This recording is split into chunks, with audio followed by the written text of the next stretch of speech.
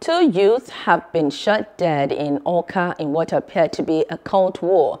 Police spokesman in Anambra, DSP Toochukwu Ikenga, who confirmed the incident, said operatives had been drafted to the scene to prevent further breakdown of law and order.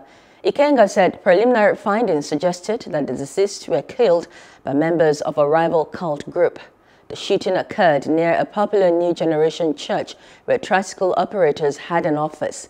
A resident who witnessed the incident said the assailants arrived in a tricycle and opened fire on the victims, killing them in the process. Hope you enjoyed the news. Please do subscribe to our YouTube channel and don't forget to hit the notification button so you get notified about fresh news updates.